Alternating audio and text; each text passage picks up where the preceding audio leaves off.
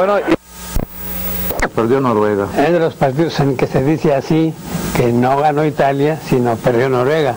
Estaba completo, el equipo italiano estaba diezmado, sin embargo Noruega siguió más o menos con la misma tónica, el mismo tipo de juego, no se le vio ambición por sacar un mejor resultado y en el pecado llevó la penitencia. Bien. Eh, pues vamos al Corea-Bolivia que nos atrae la atención en este momento. El equipo coreano muy disciplinado en todas sus acciones, siguiendo una tónica que le marca a su técnico el señor Kim Ho contra un equipo de Bolivia que hizo ruido en las eliminatorias. Con un Javier Ascargorta que allá nos vamos con ellos, Nacho, para que nos platiquen el ambiente que existe allá en Boston. Adelante, Carlos, adelante, Rafa.